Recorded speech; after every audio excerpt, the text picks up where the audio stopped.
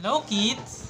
So, ngayon, hello kids! hello kids. So, ngayon, So ngayon, ang pag-aaralan natin ay theory, meron akong ano, Yo- pencil, mga gunti. bawal ka pa maggunting dahil bata ka pa. Kaya ito, dapat pinatabi mo muna. So, wag ka muna mag-ahok ng ano, lapis sa ballpen. Lupit! Mamaya na to, mamaya na to. Sulat ako. So, theory Theory of way, of weight, way way to God. to God. Turo yan, Glenn. School ba yan? Ang turo mo sa school yan? Oh, way of God or way to God. Pwede pa na. Sige, ano yan. Hindi mo natututunan yan sa school. Ganyan. So, sa buhay, sino ang sentro natin sa buhay? Si God. Si God. Siya ang sentro natin sa buhay. Kung walang, paano kung walang araw? Anong mangyayari sa Sabon. mundo? Mama. Mama? Mary.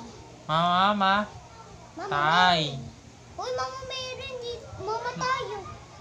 Mama Mary ba? Oo. Hindi, paano kung walang ilaw? Wala, wala lahat ng ilaw.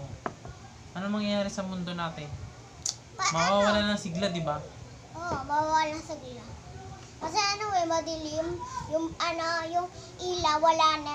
Black na lang. ah. So, wala nang pagkukuha na ng ener- enerhiya. Mm-mm. Kaya, dati nag-run na, tulak ng ilaw. Pero meron pang ibang makuhanan. Wait lang. Dati nag-run na, wala kaming ilaw at hangin. Sa labas na kami natutulog. So, dapat, tignan nyo po yung dinrawing ko na bilog. So, walang walang perpektong bilog.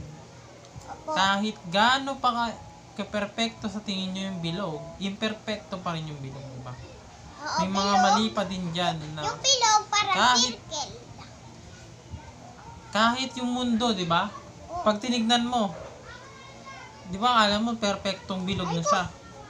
Pero, imperfectong bilog pa rin siya. Kasi walang perpektong mundo.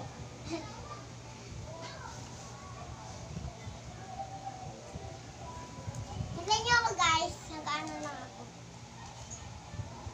Doon kayo sa YouTube ko manood, at sa YouTube ni Kuya.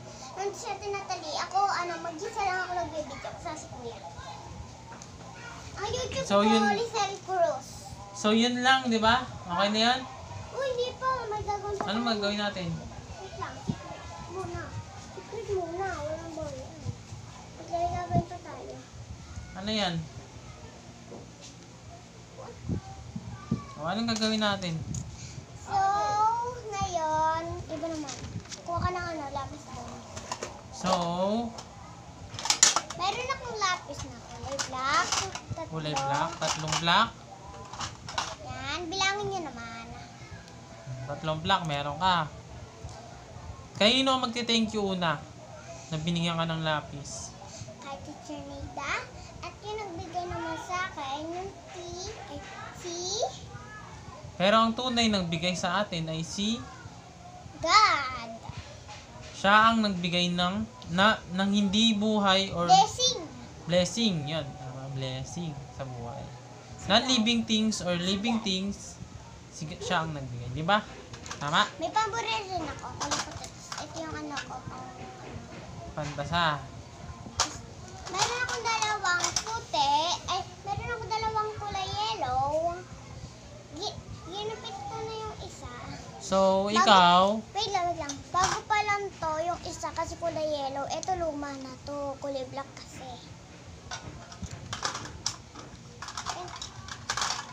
Bili. Ano sabi mo? Bili. tatlo. Tapos may dalawa akong kulay yellow.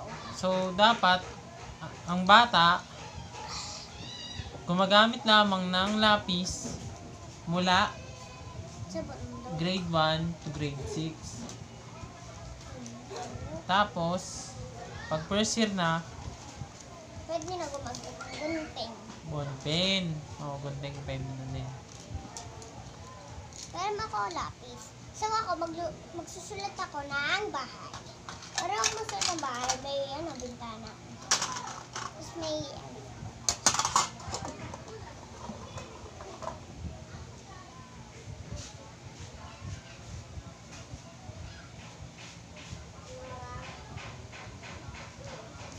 Na yan. Magsusulat ako. Tingnan niyo yung sinulat ko. Lang.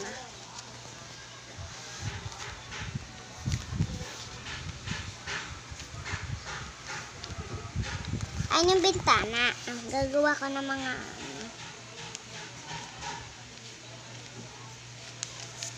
Gagawa ko ng flower.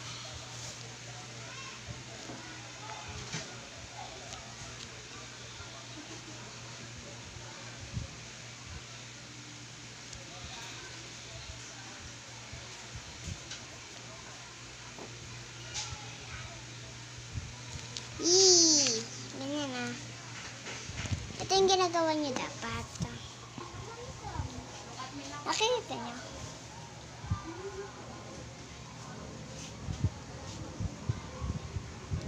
Diba nakita niyo na? Ito si kuya. Ito yung lapis ko. Kasama ka. Palagay na kuya. Ang gagawin namin ay... Ano kayang gagawin? Kakanta kami ng...